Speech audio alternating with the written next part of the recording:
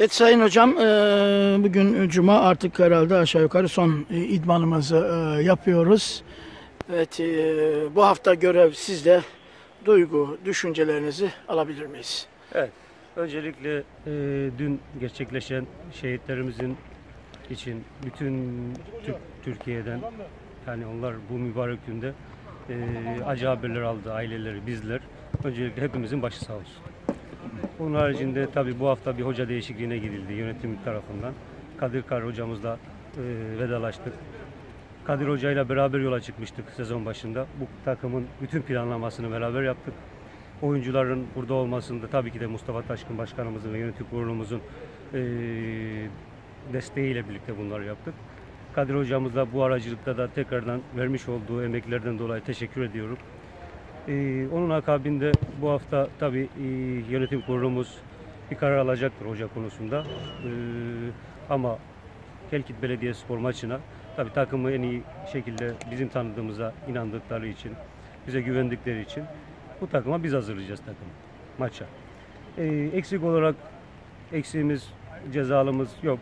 Ufak tefek sakatlarımız var. Onlar da oynamaya mani değil. Buradan eee, ben Pazar halkına da seslenmek istiyorum. Pazar Spor iyi gidiyor. Pazar Spor bu sene eee, elinden geldiğince iyi işler yapıyor. Bu maçta da bizi yalnız bırakmasınlar. Desteklerine ihtiyacımız var. Az bir süre kaldı. İçeride özellikle e, içeride e, maç alma sıkıntımız var istatistik olarak. Burada o eksiğimizde taraftardan desteklerini bekleyerek bize bu hafta yardımcı olmalarını istiyoruz. Yanımızda olmalarını istiyoruz.